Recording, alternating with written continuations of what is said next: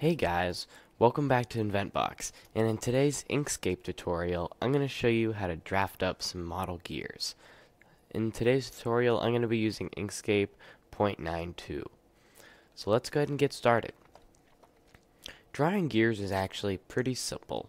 What we're going to do is just draw a normal star, and normally whenever you draw a star, it starts out as a five-point star.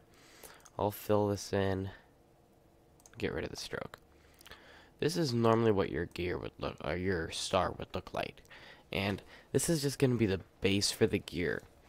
Now, we'll edit it and add eight spokes. You can, this is going to determine how many spokes is on your gear, so don't worry about it too much right now.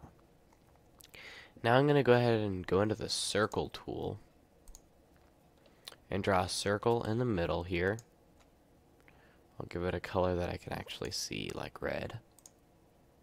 And we'll center it in here. Now there's two different ways to center this circle in the star. One way is in the very edge over here. In the snap menu, you have these two different options. Check both of these and then make sure the top one here is on and this one is on so that these are enabled. And now if we drag this near the center, it will snap right there, and then we'll let it go. And now that's in the center of the star.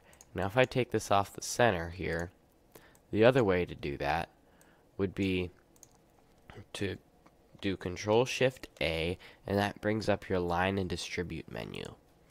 Now click on the circle and the star, and align them all on the vertical axis and the horizontal axis. And now these two are perfectly centered. So those are two different ways to get that centered.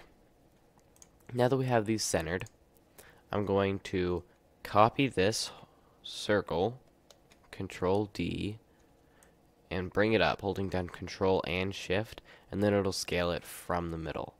And we're going to take it to about right here and move it down to the bottom layer so we can see it.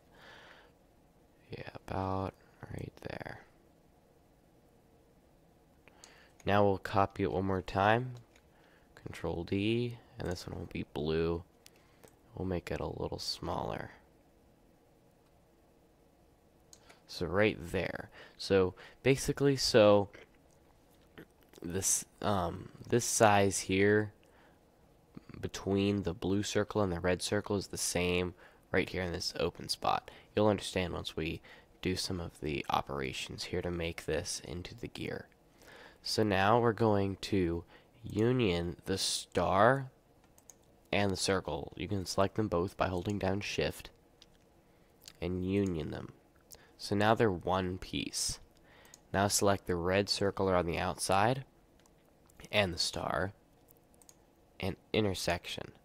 And now you can kind of see this starting to shape up. And now, middle, uh, middle circle. I'm going to make this one a little bigger, like that. Select the outside gear, and select the inner circle, and difference those. And now we have the gear with the hole in the center. And actually, if we copy this gear and move it here, you can see it actually kind of meshes in the other gears. And now I went ahead and disabled snap mode by clicking the top one up here. So now you can do whatever you want with these gears. In a future tutorial, I'm going to actually take this file and put it on our laser cutter. And that's actually quite an easy process. It's not too intimidating. So I hope you guys found this video useful. If you did, don't forget to like and subscribe, and we'll see you next time.